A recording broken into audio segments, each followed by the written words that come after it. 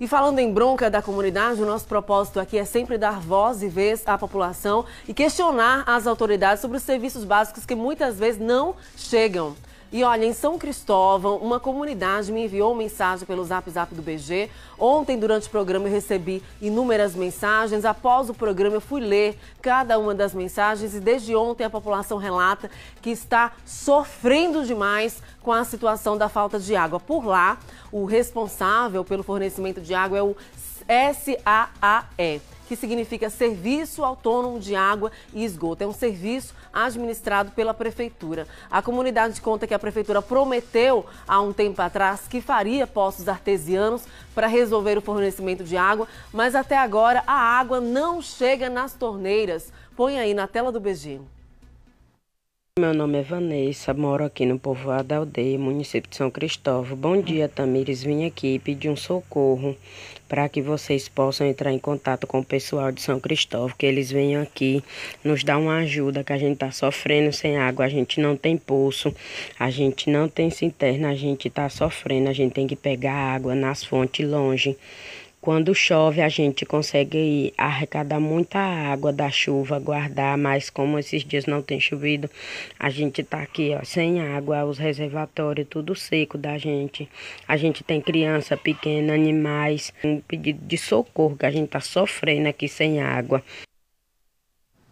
Olha, aí, situação triste. Nós procuramos, eu procurei a assessoria de comunicação da Prefeitura de São Cristóvão, que explicou por meio de nota o seguinte: a Prefeitura encontrou em 2017 um grande déficit no abastecimento de água, tanto na cidade como também na zona rural. Várias comunidades sofrendo com o não fornecimento de água. A nota da assessoria diz ainda que a prefeitura não tem medido esforços nas ações de reforma e também nas ações de reativação de estações de tratamento de água e perfuração de poços. Em 2021, a nota diz que foram perfurados oito novos poços, quatro reservatórios implantados 6 mil metros de redes de abastecimento. Foi prometido, a nota diz, que a prefeitura atualmente está tomando todas as medidas para acabar com esse problema da falta de água, mas não soube me dar uma previsão exata de quando esse fornecimento de água será concluído para a população que vive no povoado aldeia em São Cristóvão. E olha, nós não podemos nos calar diante desse pedido de socorro. Quando a gente fala em água, é importante que a gente entenda, não é algo que dá para esperar.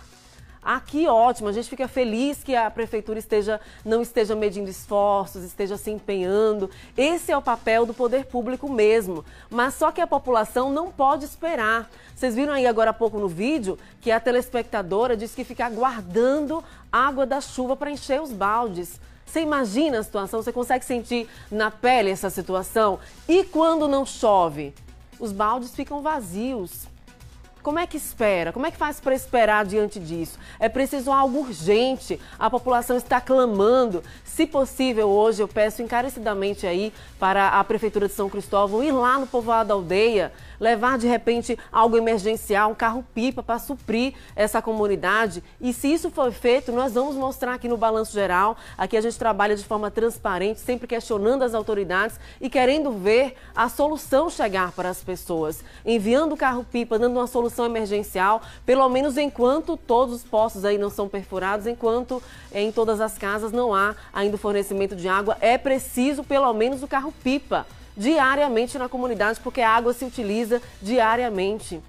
Por favor, por gentileza.